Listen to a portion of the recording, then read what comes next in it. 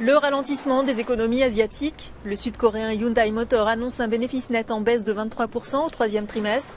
Les ventes du cinquième constructeur automobile mondial déclinent pour le septième trimestre d'affilée.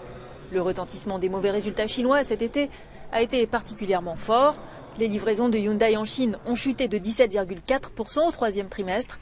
L'action Hyundai a fini la journée en baisse de 0,6% à la bourse de Séoul.